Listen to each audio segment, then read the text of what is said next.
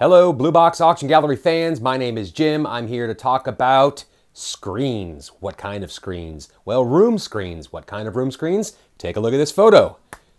So, the interesting thing about these screens is what do you do with them? One thing, introduce color to a space.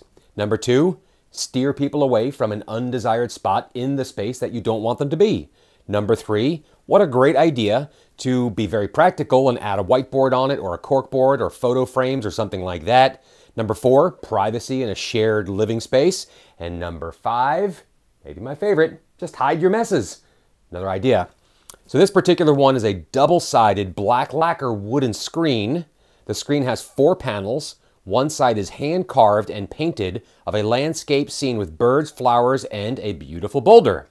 The other side is painted gold and is decorated in a relief style.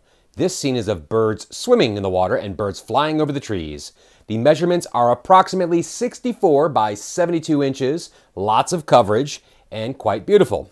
The auction for this particular item is February 16th on our Blue Box Auction Gallery app at 1 p.m.